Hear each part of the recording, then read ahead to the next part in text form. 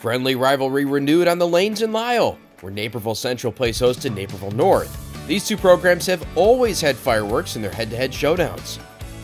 Let's start on the Red Hawks side, where Andrew Marrero is looking to get NC off on the right foot in game two, and his strike does just that.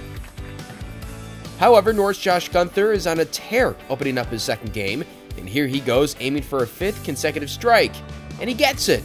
That catapults him to a 237 game. Teammate Tanner Child follows suit, using the right hook to cross pockets and pick up all 10, and that deserves a fist pump. And to complete the trifecta, Leo Oberman connects for a strike as well, North with a 997 second game as a team. As for Central, Alex Leakeas, the freshman, putting in work to keep his team in it, he secures a 10th frame turkey, but Central trails by 200 pins going into the final game. So can the Redhawks come back? Matthew Reedy certainly thinks so. Here's an early strike from him. And then how about Ethan Rupp? He's willing his team back into the match. Rupp with three strikes and a couple of spares in his first five frames in game three.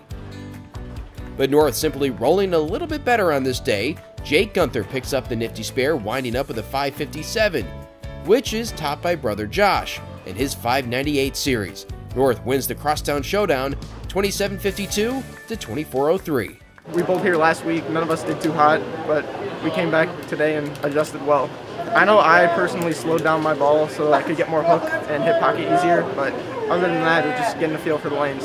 Yesterday was my first 200, so you know, coach worked with me a lot yesterday. He uh, helped me fix my form up, and it's just been working. You know. He had me uh, fix my follow through for my ball and had me bowl like a lot more aggressively, uh, really carrying my momentum forward to uh, you know get that force in. And he's just been telling me, you know, helping me narrow down where I need to throw it and all that. So it's been working. Especially this year, we picked it up a lot since last year, and I think we could make a run this year if there was a series. I mean, right now we're undefeated, so just keep that going, I guess.